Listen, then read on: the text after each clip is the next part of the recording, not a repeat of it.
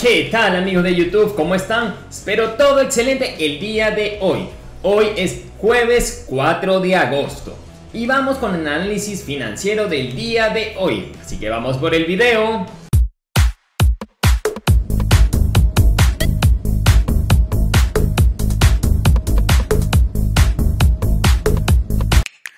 Te recordamos que esto no es una asesoría financiera. El contenido de este canal es totalmente informativo, educativo y en lo que mi persona encuentra totalmente interesante para invertir.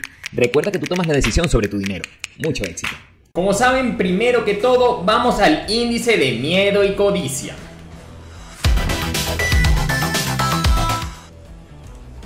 Aquí pueden ver el índice de miedo y codicia que estamos 4 puntos por debajo del día de ayer. Todavía estamos en medio casi que miedo extremo. Pero ahí vamos. Un poco relativo porque si hace poco tenemos unas velas súper positivas, ahorita estamos 4 puntos menos. ¿Cuál es el sentimiento del mercado? Ya lo pueden ver a través del mismo. Tuvimos su hype, como había comentado anteriormente en los otros análisis de 40, 42 y ahorita vamos ya para los 30. Podemos tocar nuevamente los 24, 20. Sí, lo veo posible, realmente que sí. Una vez culminemos la bull trap. Yo estoy esperando todavía la Bull Trap. Vamos hacia las noticias importantes del día de hoy o lo que ha sucedido hace poco. Primero que todo está el hackeo que hubo de las 9.000 monederos en Solana, aproximadamente 8 millones que fueron pérdidas, robados, estalqueados, como lo quieras ver del cual en este caso no fue un problema en la propia red, sino ya algo mucho más de seguridad y también de compromiso de los usuarios sobre cómo aseguraban sus semillas. Recuerden que la semilla es la que utilizas para tu monedero y en este caso es un monedero caliente, ya que está online, ejemplo Phantom. Les haré un video a continuación también para explicarles cómo quitar estos contratos que hemos creado y dónde tenemos acceso nosotros a través de nuestro monedero, para que así puedas mantenerlo más seguro. Sigamos. Otro punto importante es lo que sucedió entre Taiwán, China, wow, todo lo que pasó. Eh, Pelosi, que es la presidente de la Cámara de los Estados Unidos, arribó a la parte de Taiwán. Y todo esto era un poco comprometido, no se sabía qué iba a suceder, China amenazó, al final ella aterrizó, pasó algo, absolutamente nada, del cual hizo que el mercado reapuntara un poco el día de ayer. Pero en general, ¿qué podría pasar? Eso lo sabemos a medida del tiempo, pero por lo que parece, absolutamente nada. Así que todavía podemos estar tranquilos dentro de esto. Igual las noticias las pueden ver tanto en Cointelegraph y en CNN en español. Sigamos un momento para que vean. Aquí en el calendario económico pueden ver que no tenemos absolutamente nada tan relevante. Están las nóminas no agrícolas que son para mañana, del cual podría repuntar nosotros casi siempre operamos a través del oro. Podrías aprovecharlo también. En cuyo caso también están los PMI manufactureros y también de servicios fueron positivos. Así que eso da muy bueno hacia la economía. Como pueden ver, el vencimiento de opciones se ha mantenido igual posicionado hacia los 25.000, el Max Pain 23.000, pero cada vez está mucho más lateralizado en este punto. Vamos a ver qué sucede aquí a mañana, ya que este es la de final de este viernes. Saben que la de final de mes es la más importante. Igual están posicionados entre los 25 y 26.000 con el Max Pain en los 23 ya tenemos 700 millones. Realmente este lo veo un poco lento, pero saben que eh, agosto en cuanto a las inversiones, movimientos, volumen es un poco más lento. Normalmente casi no operan los traders. Eh, de verdad es mucho más lento. Entonces por esto podría suceder esta relación que está acá que son 743 millones para el fin de mes. Vamos con nuestros gráficos. En nuestros gráficos como puedes ver aquí está el, el XY tuvo una pequeña corrección. Afirmamos parte del gráfico tocó donde esperábamos pero no fue a tocar el vacío de liquidez bajista que ve en la parte superior. Este vacío ya lo tomó. Ahora, ¿para dónde vamos? Este también ya lo habíamos tomado. ¿Para dónde podría corregir este? Yo lo vería que tocaría nuevamente sin trabajar con los vacíos de liquidez este mínimo relativo que teníamos acá. Para luego reapuntarnos hasta este vacío de liquidez que teníamos. Este es la experiencia y lo que yo veo en cuanto a este gráfico. Tenemos que esperar que culmine esta vela y la siguiente para saber si nos deja un vacío de liquidez en esta área. Pero hasta el momento podemos ver que no lo hay. Hay uno muy pequeño en esta área, pero yo lo veo casi irrelevante. Podría tomarlo, sí, pero lo va a atravesar, ya seguro toma este mínimo relativo y así es que podría suceder con el DXY. Ya saben que si este baja, impulsa un poco más el mercado tradicional de criptomonedas. Es el deber ser. Entonces, vamos ahora con el Donjon. ¿Qué tenemos en el Donjon? Sí, se cumplió la parte de la proyección. Subió a un 50%, del cual no está nada mal. Ahora, tomo vacío de liquidez, sí tomo un pequeño vacío de liquidez.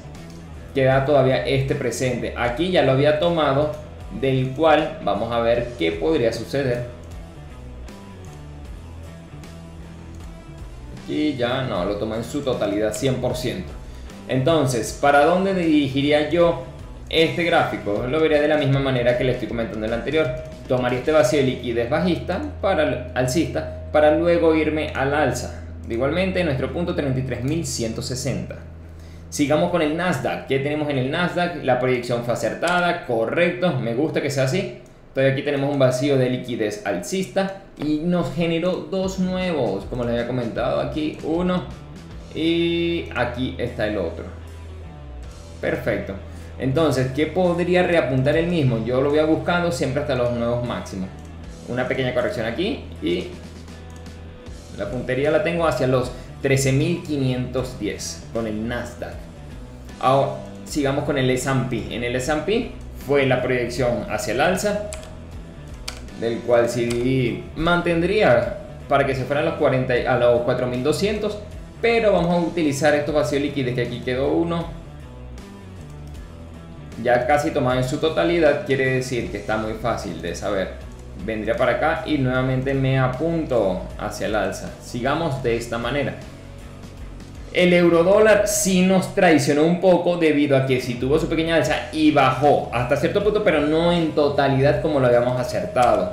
Nosotros sí terminamos haciendo un stop loss pero como les había comentado eh, fue en break No tuvimos pérdida, pero no fue lo que esperábamos que llegara hasta este punto, porque tuvimos la calma para dejarlo hasta allí. Por eso se acertó en cierta manera, sí, claro, pero no al 100%. Ahora, ya tomando este vacío de liquidez, que ya lo tenemos, este vacío de liquidez que también lo tomó, este que también lo tomó, lo que estamos apuntando ahorita, miren lo que quedó aquí. Podría corregir, tendríamos que ver la próxima vela, pero hasta el momento nos está dejando una en esta área que aproximadamente podría corregir un poco para luego volver a tomarlo. Y vamos que también necesito que estés aquí. Esta es la proyección que veo a corto plazo para luego inclinarnos nuevamente hacia la baja. Lateralmente, mejor dicho, está lateralizando el euro dólar, si lo ven, en este rango. Este es el rango del mismo. Ok, podremos aprovecharlo podría buscar este rebote, si me lo mantiene me vuelve a rebotar, ya sé que aquí hago un long y después nuevamente short. En la libre esterlina que tenemos, la libre esterlina nuestra predicción continúa, lo que va a hacer es mover la vela, la flecha, hasta el área donde me interesa. Este también ya hizo esta proyección, ya la próxima que veo hacia dónde es, del lado bajita. Mire que fue justo donde habíamos indicado. Qué brutal. Entonces de aquí vamos para esta área. El oro, oro, oro, tenemos lo mismo, más de lo mismo, ya este vacío liquidez lo tomó, este lo ha tomado en gran medida, así que podemos ir bajándole la densidad. Este lo que quiero que es, termina de consolidar en esta área para luego para irnos hacia abajo o vamos con este mínimo relativo que me gusta que está acá. Vamos con el Bitcoin e Ethereum. Bitcoin, wow, me tiene un poco estresado porque ha estado muy tranquilo. Realmente no le veo la volatilidad, no veo el disfrute, no veo el sub y baja. Lo veo muy lateral. Miren esto, todo ha estado aquí. ¿Cuánto es un porcentaje aquí acá? Hasta el final, 300 puntos, 600 puntos, no es nada. Se ponen a ver, estamos hablando que es un 3%. Es para la volatilidad que debería tener, me tiene un poco obstinado, la verdad. Pero bueno, tenemos que seguir hacia adelante. Lo bueno es que ha respetado en la parte superior del vacío de liquidez sin ningún tipo de problema. Vamos a apuntarlo ahora hacia dónde podría ir el mismo. Su vacío de liquidez ya fue tomado. Y nuevamente yo quiero que me llegue hasta los 26.000. Para allá es donde van puestas mis apuestas, vamos a decirlo de alguna manera. Ya que se ya está confirmado, la verdad. Pero se debe terminar de operar y gestionar la Ultra para nosotros salir a hacer un short y aprovechar ese movimiento a la baja.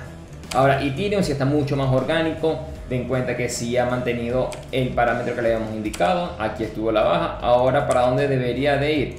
Este vacío ya me lo tomó. ¿Podría tomar esto? Sí, claro, sí podría. Pero ya apuntando el que hayamos tenido anteriormente, me voy más por este camino. El camino más que el B. Pero vamos a dejarlo de igual de la misma proyección.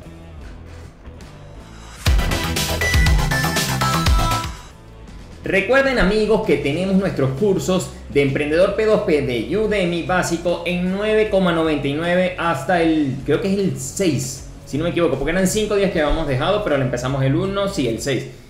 Y allí vas a poder aprender sobre el comercio P2P y ser totalmente rentable. Ahora bien, si quieres de verdad ser un experto en el mismo y de totalmente forma avanzada, con gusto puedes hacer nuestro curso súper avanzado, que es desde el básico hasta más avanzado y mucho más, de comercio de Emprendedor P2P 3.0, que es nuestra propia plataforma. Todos los links están en la descripción.